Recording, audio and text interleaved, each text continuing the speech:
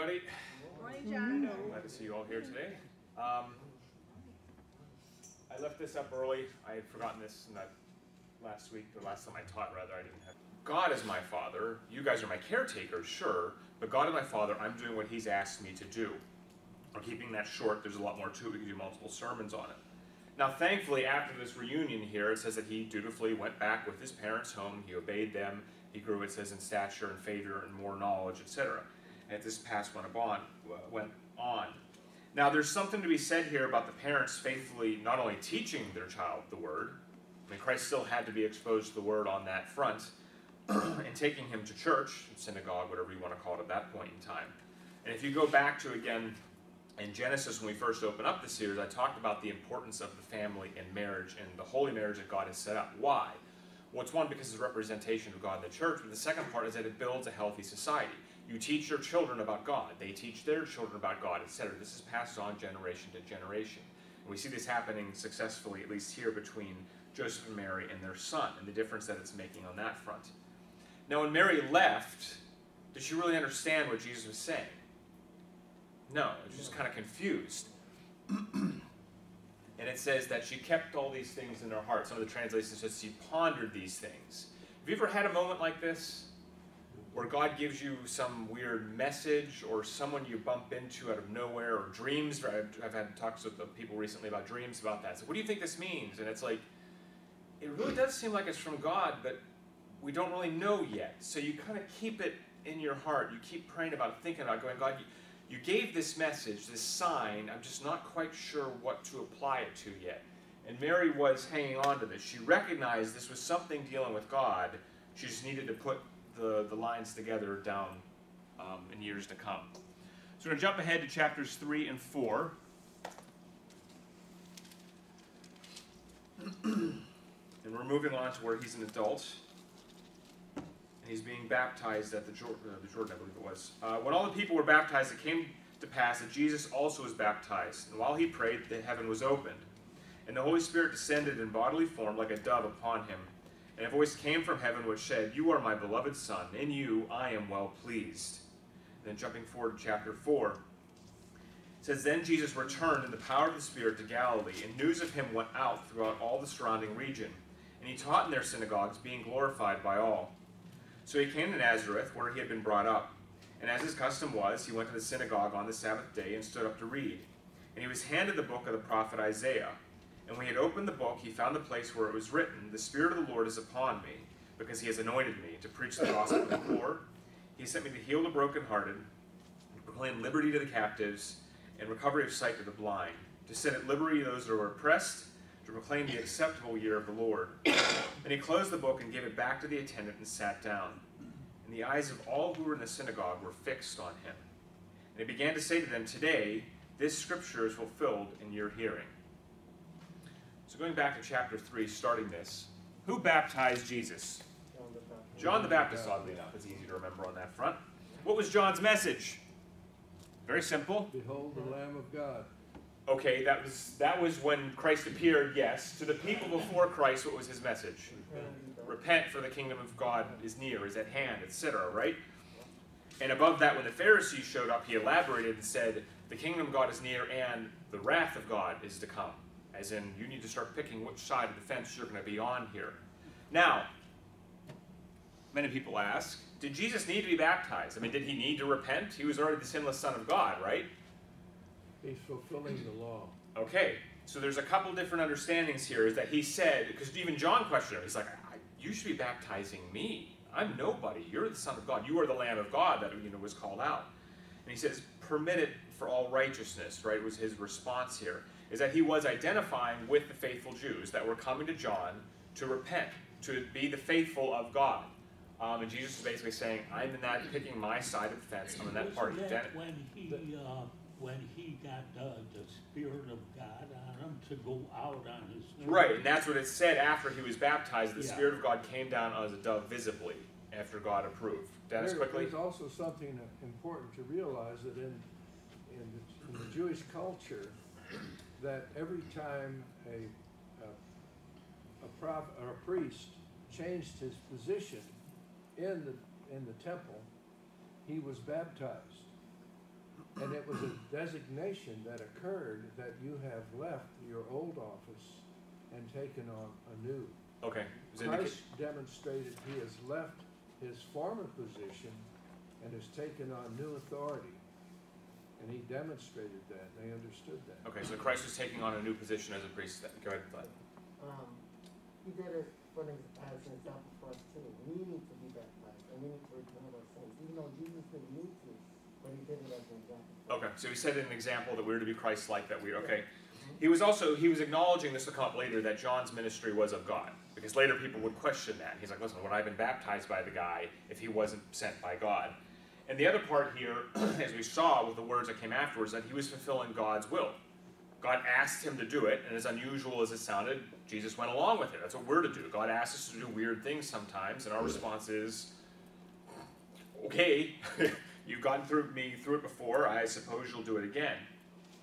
But this obedience led to basically this appearance, this completion of the Trinity. You already had Christ there, you had the audible word of God, and then you had the visible appearance of the Holy Spirit. So you had the Trinity there. The Holy Spirit was empowering Christ to take upon this ministry. This is the start, so to speak, of his outpouring, his, his evangelism ministry. And the, the form of the dove, if you remember back even to Noah's Ark, was ark was a, a sign of peace. It was an offering of peace, of reconciliation between God and man. And here was a lighting upon Christ, again, him performing the same responsibility for us. But it was empowering for him, him for what was going to come next.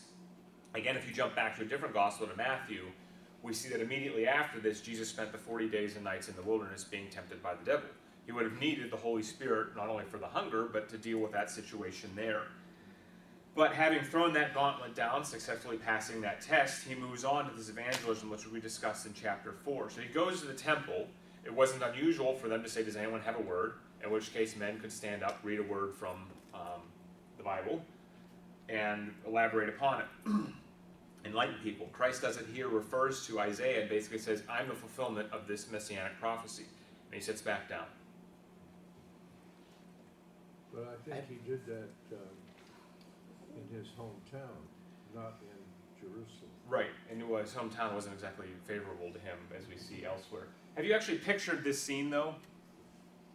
I mean, the crickets after he sits down, and everyone just eyes bugging out of their head like, "This guy for real? Who is this guy? This is the carpenter's son.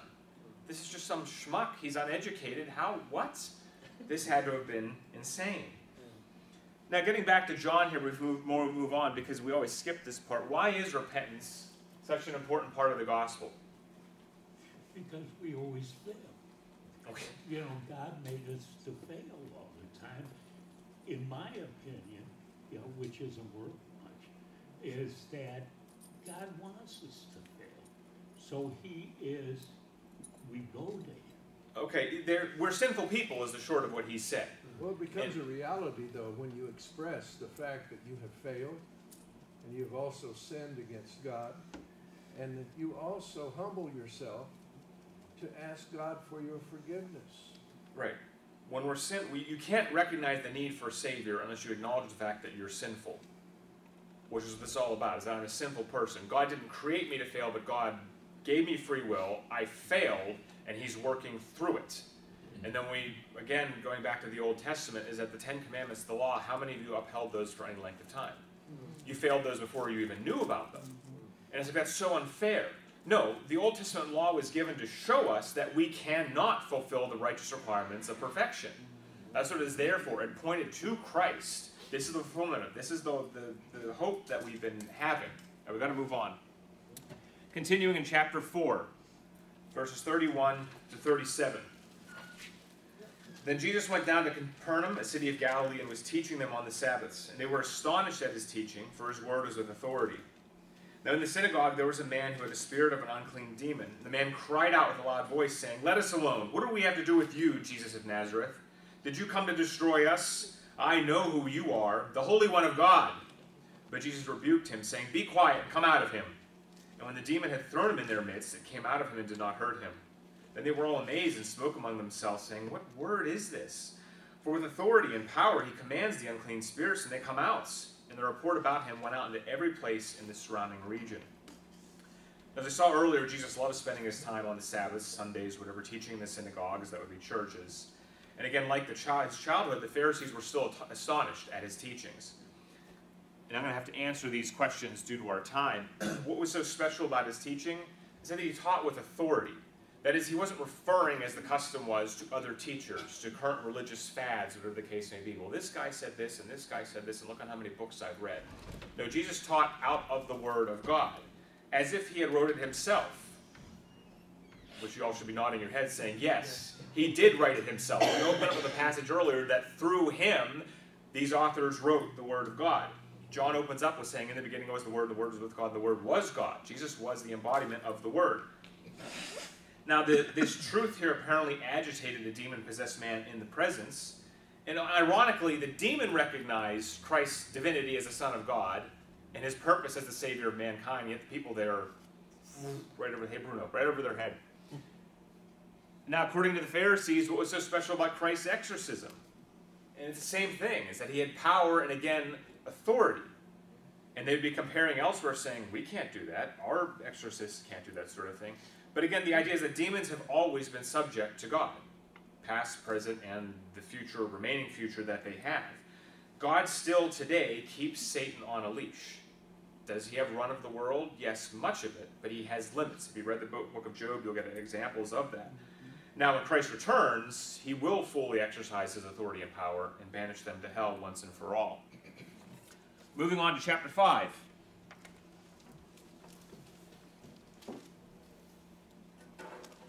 verses 17 to 26. Now it happened on a certain day as he was teaching that there were Pharisees and teachers of the law sitting by, who had come out of every town of Galilee, Judea, and Jerusalem, and the power of the Lord was present to heal them. Then behold, men brought on a bed a man who was paralyzed, whom they sought to bring in and lay before him. And when they could not find how they might bring him in because of the crowd, they went up on the housetop and let him down on his bed through the roof into the midst before Jesus. When Jesus saw their faith, he said to them, Man, your sins are forgiven you. And the scribes and the Pharisees began to reason, saying, Who is this who speaks blasphemies? Who can forgive sins but God alone? But when Jesus perceived their thoughts, he answered and said to them, Why are you reasoning in your hearts? Which is easier to say, Your sins are forgiven you, or to say, Rise up and walk? But that you may know that the Son of Man has power on earth to forgive sins. He said to the man who was paralyzed, I say to you, Arise, take up your bed, and go to your house. Immediately the man rose up before them, took what he had been lying on, and departed to his own house, glorifying God. And they were all amazed, and they glorified God and were filled with fear, saying, We have seen strange things today.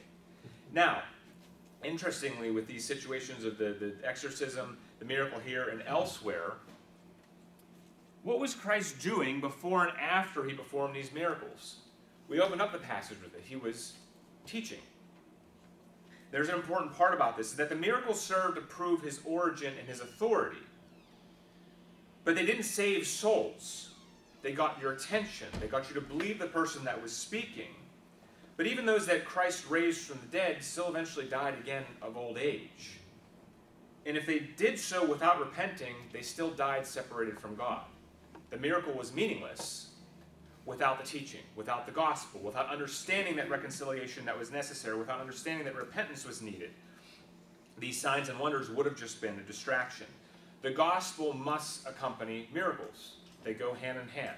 If you do not have the gospel with the miracles, stay away. And this is especially true in the world today where everyone wants the fireworks show, or they want the quick fix, and make me well, and then I'll forget all about you. Um, define a miracle, though. I don't have time to do that right now. The Pharisees show us an example, was another well, example of this, or show us, you know, they, they constantly were saying, show us another sign, show us another sign. And Christ's response was always, why? You don't believe the word that I'm speaking, what are these miracles going to do? And the people followed along with that. Now, the Pharisees in this case here in the passage read are irritated with Christ's claim to forgive the paralytic sin. Now, rightfully so, who can do that besides God? That's in the Word. I would understand if they had not already known Christ's ministries and seen his previous miracles to be a little suspect of what the man was saying. That would have been blasphemous behavior, except they had seen and heard his previous words and actions. Now, in response to this, Christ offered a miracle to prove his divinity, our sinful nature, and our need for redemption. And as a logical person, I love the logic he uses here And that is, which is easier to say to a paralytic person, Your sins are forgiven to you, or rise up and walk? Now, if I tell any of you in the crowd here that your sins are forgiven, how can you prove that that's accurate? You can't. There's no sign. There's no beam of light that comes down on you, angelic wings, oh, sound, and you float up through the ceiling. It doesn't work that way. However, if I tell a par- paralytic, rise up and walk, and he does it, that's very visible proof that what I am saying is true on this front, and of course, that's what he did. Now, you may say, I've seen plenty of faith healers say, Be healed, and slap someone on the forehead, and he falls down, he gets up, and he can walk again, he can speak again, he can hear again, whatever the case may be. Does that mean they can also forgive sin? No, again, we read the rest of the Bible and we understand all men are sinful. Men do not have the ability to forgive sin. So, my question in these situations here, where someone's slapping them on the forehead and they're apparently healed, is stereotypes aside, was the gospel included with the message? Healings are a real thing. The question was what came of it. Did the person get up and healed and go home and go back to sinning? Or was the word of God preached and that sign of healing encouraged people to believe in Christ and the message that he sent? if we're not preaching, Satan specifically, if you remember, knows the Word of God. And Satan can imitate miracles, healings, etc. That's in the scripture as well. But Satan will never preach about Christ's divinity, his sinless life, his death, his reconciliation, and his exclusive means of redemption with God. Because the world today will mix miracles in, but then say, oh, it's one of many ways, or you don't really need to repent, etc. If you don't have all of it, it's still a lie. We're going to get there. We're jumping on to John, chapter 19. Moving on to the end. It says, Then Pilate delivered Jesus to the Jews to be crucified, and they took him and led him away. And he, bearing his cross, went out to a place called the place of the skull, which in Hebrew is called Golgotha, where they crucified him, and two others with him one on either side, and Jesus in the center. This is a fulfillment of prophecy. Again, if you read the Old Testament, you'd know that.